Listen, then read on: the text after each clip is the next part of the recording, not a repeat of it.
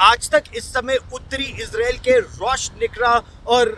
बीच के उस इलाके से रिपोर्ट कर रहा है जहाँ से ये मेरे पीछे एक मिलिट्री की चेक पॉइंट है और इसके उस पार केवल मिलिट्री का इलाका है और वहाँ से लेबनन की सीमा महज दो से ढाई किलोमीटर रह जाती है। यहीं से अब मिलिट्री ऑपरेशन लगातार चल रहे हैं। लेबनन में दक्षिणी लेबनान में इसराइल की सेना के और जैसे आप मेरे पीछे देख भी सकते हैं, सेना की बख्तरबंद गाड़ियाँ, ईंधन ले जा रही गाड़ियाँ इन्फेंट्री को ले जाने वाली गाड़ियाँ लगातार इस हाईवे पर है और ये हाईवे सिविलियन ट्रैफ़िक के लिए पूरी तरह से बंद है। अभी से थोड़ी देर पहले यहाँ पर एक ज़बरदस्त रॉकेट अटैक हिजबुल्ला की तरफ़ से इस क्षेत्र से थोड़ा ऊपर पहाड़ों में हुआ था। मेरे साथ श्लोमी हैशकिल भी मौजूद है। Mister Haskel tell me about the rocket attack that has just taken place in that area please come to sense sir what happened 5 minutes ago 2 kilometres from here it was a seven alarm and the Hezbollah rocket the the bomb Nobody let us go from this point anymore. We try to see the view from there, but it's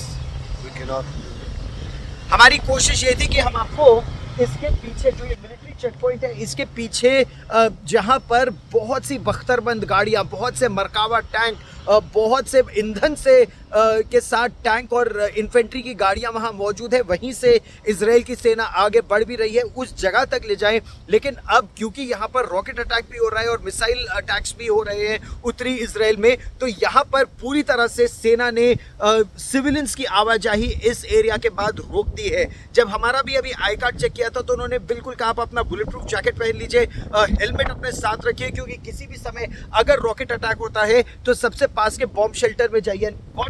if there's another rocket attack where will we go what will we do uh, we must go out from the car and uh, lay down on the road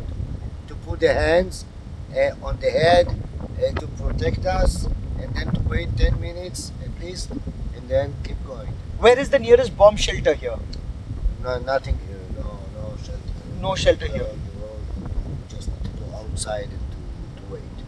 तो यहाँ पर अभी कोई bomb shelter नहीं है। वैसे अगर आप इस इलाके को देखें तो ये बेहद खूबसूरत इलाका है उत्तरी इसराइल का। ऐतिहासिक शहर हाइफा और आको यहाँ से ज़्यादा दूर नहीं है।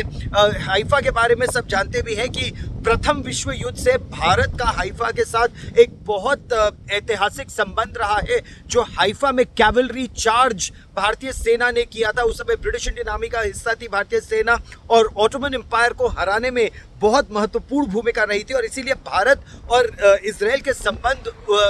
हाइफा की वजह से भी बहुत ऐतिहासिक, मज़बूत है। लेकिन इस समय इन ताज़ा तनावों को देखते हुए ये कहा जा रहा है कि इस पूरे क्षेत्र को अब खाली करके दक्षिण में जाने की आवश्यकता है या मध्य के इलाके में जाने की आवश्यकता है, क्योंकि उत्तरी इसराइल इस समय यहाँ रहना खतरे से खाली नहीं। गौरव सावंत, उत्तरी इसराइल आज तक।